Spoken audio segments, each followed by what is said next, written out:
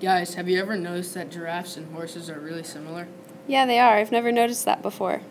I bet it has something to do with having a common ancestor, meaning they evolved from the same animal. But how do they turn out so different? I know Lamarck had a theory about evolution, inheritance of acquired characteristics. He said that, for example, if a wading bird continually went deeper and deeper in the water, and in doing so stretched his legs, they would eventually grow longer. They would continue to grow longer throughout his life, and when he produced offspring, he would pass his acquired characteristics onto the offspring. That's a remarkable idea. Get it? yeah, sure. Yeah. Anyways, why is he not known as the father of evolution then? I thought that was Charles Darwin. Lamarck must have had a few flaws in his theory of evolution, or the change in species over time. Yeah, you can't pass on acquired charis- characteristics to your kids. Like if I dyed my hair pink, my kids wouldn't have hair pink. So, what is the correct theory for evolution?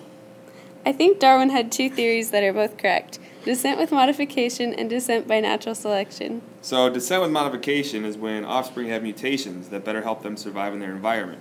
Their offspring will inherit these helpful traits because mutations are part of the DNA sequence, which is what parents pass down to their kids. Darwin's other theory is modification by natural selection. This is like survival of the fittest. Organisms with more favorable traits will survive, and they will therefore pass their traits on to their offspring. Galapagos finches are a perfect example of natural selection. When a storm blew a group of finches off course and they landed on a new island, the main food source on this island was big nuts. Once in a while, a finch would be born with a mutation that caused a bigger beak. It would be more suited to its environment and therefore more likely to survive and pass this trait on to its offspring. Eventually, the group of finches on this island developed big beaks because these were more favorable for getting food. This is a cladogram. It is a kind of chart that shows common ancestors and how closely related organisms are.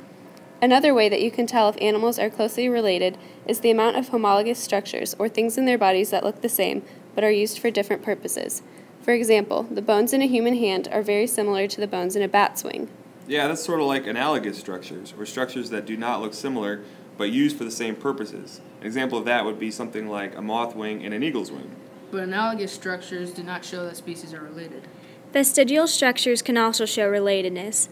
These are body structures that are no longer used. Yeah, did you know that pinky toes are vestigial structures in humans, and it's highly probable that we'll no longer have pinky toes in a couple hundred years? what? But back to the main point. Going off of Darwin's theories of descent by modification and natural selection, how do you think horses and giraffes evolved from a common ancestor?